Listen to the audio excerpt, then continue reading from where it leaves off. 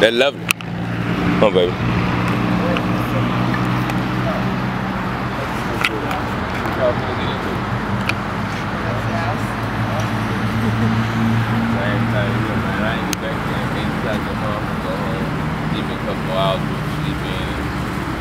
You. Have than Yeah.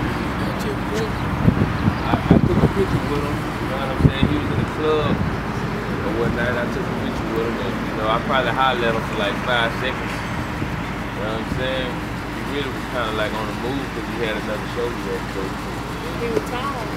Drake, nah, he, he about my height. You know, I had a show with Drake. I'm, I got a matter of fact, I got a video when I was on stage with him uh, in Houston. Uh, probably about two years ago, I had a show with him or whatnot, man, or whatnot. You know what I'm saying? So it, it's actually like my second time meeting him or whatnot. You know,